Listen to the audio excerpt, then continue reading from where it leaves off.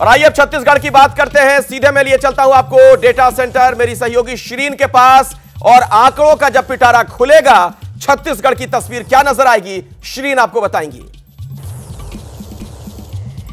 तो आइए बात कर लेते हैं छत्तीसगढ़ की और छत्तीसगढ़ का आंकड़ा क्या है?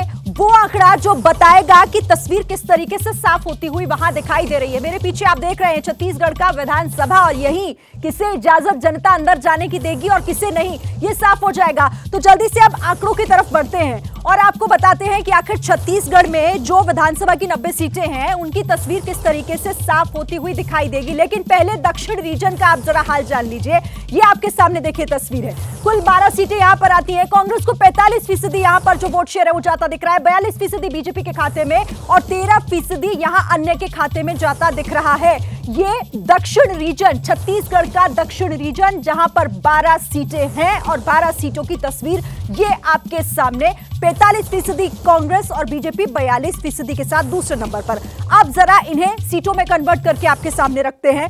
वोट शेयर के बाद देखिए सीट भी आपके सामने है। कांग्रेस पाँच से नौ सीटों पर कब्जा करती दिखाई दे रही है। तीन से साठ सीटें जो हैं वो बीजेपी के पास जाती दिख रही है और शून्य से एक का जो आंकड़ा है वो अन्य के खाते में जाता दिख रहा है। तो कुल मिलाकर बारह सीटों में से पाँच से नौ पर बढ़त बताते हुए, बनाते हुए भी यहाँ कांग्रेस जो है वो पहले नंबर पर दिख रही है और इसके ठीक पीछे तीन से सात सीटें जो हैं, वो बीजेपी के खाते में जा रही है। तो यहाँ बाजी मारती हुई कह सकते हैं आप, इन 12 सीटों का जो इस वक्त ये कैलकुलेशन निकल कर सामने आ रहा है, वो ये कि पाँच से नौ सीटें कांग्रेस को मिल सकती हैं। दक्षिण रीजन छत्तीसगढ़ का, और उसकी तस्वीर ये है, अखिलेश। छत्तीसगढ़ की अगर बात की जाए तो उसमें एक बहुत बड़ा हिस्सा नक्सल प्रभावित इलाकों का है। और आपको हम बता दें कि यहाँ पर कांग्रेस लीड लेती हुई नज़र आ रही है। बड़ी बात यह कि कांग्रेस के खाते में यहाँ पाँच से नौ सीटें जा रही है।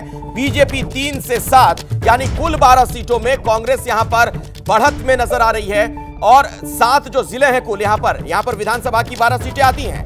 इसमें कांग्रेस लीड ले रही है, बीजेपी पिछड़ गई है। बीजेपी तीन से सात, हालाँकि ये जो मार्जिन है यह बहुत बड़ा है, तीन से सात का। और कांग्रेस की बात की जाए तो पाँच से नौ, और वोट प्रतिशत भी हमने आपको बताया, कांग्रेस के खाते में 45 प्रतिशत वोट यहाँ पर जाता हुआ नज़र आ रहा है। बातचीत करने के लिए कई वरिष्ठ पत्रकार मेरे साथ यहाँ पर मौजूद हैं, उनसे मैं आपका परिचय करवा दूँ। विनोद अग्निहोत्री जी मेरे साथ स्टूडियो में जुड़ चुके हैं। बहुत बहुत स्वागत विनोद जी आपका।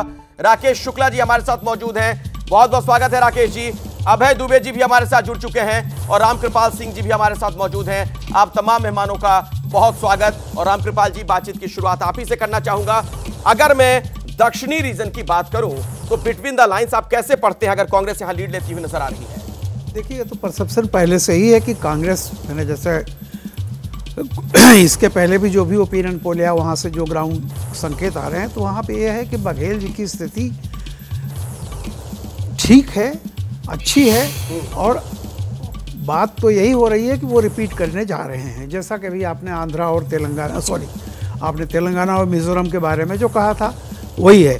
लेकिन जो अभी आपने जैसा खुद भी कहा कि जो दिखाया है आपने आंकड़े इसमें मार्जिन इतना है कि अगर कहीं जैसे पाँच से आ, वो नौ तक कांग्रेस को दिखा रहे हैं और तीन से सात बीजेपी है। जी।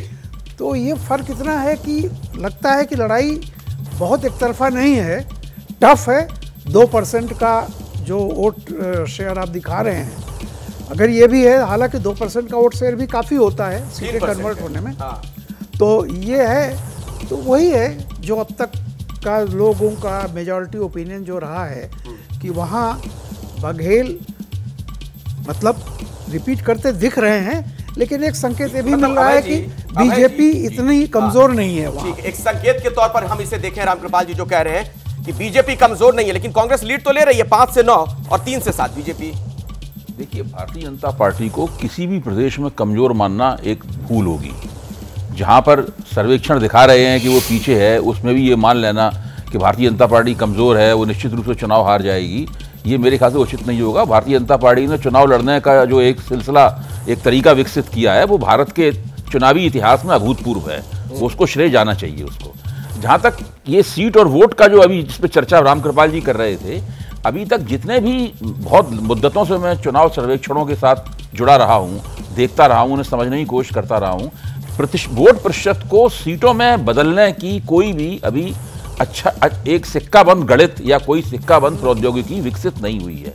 सभी एजेंसियाँ इसमें संकोच करती हैं और उसमें गड़बड़ियाँ होती हैं, इसलिए बहुत बड़ा वो का भूल चूक का मार्जिन जो होता है ना, वो बहुत बड़ा होता है। इसलिए हम लोग प्रतिशत के ऊपर ज़्यादा ज़ोर दें और सीटों की संख्या के ऊपर कम ज़ोर दें। ठीक है। मेरे साथ राकेश शुक्ला जी भी हैं, विनोद अग्निहोत्री जी भी हैं, उनसे भी हम बातचीत करेंगे। और दो और खास मेहमान जुड़ गए हैं, अखिलेश प्रताप सिंह जी, कांग्रेस के वरिष्ठ नेता, और अजय आलोक जी बीजेपी के सीनियर लीडर हमारे साथ मौजूद हैं। आप लोगों के पास भी मैं आऊँगा, सर। जैसे ही घड़ी का काटा दोपहर ढाई पे आए, बबीता जी का दिल सास बहू साजिश के लिए मचल जाए। और ये है इनकी बहू। पूरे दिन ऑफ़िस की टेंशन हो जाए, गॉन। जब ये करें अपना फेवरेट शो, फ्री टाइम पे ऑन। इनकी तरह, आप भी देखिए अपना फेवरेट शो अपने टाइम पर। और डाउनलोड कीजिए एबीपी लाइव ऐप अपने स्मार्ट टीवी पर।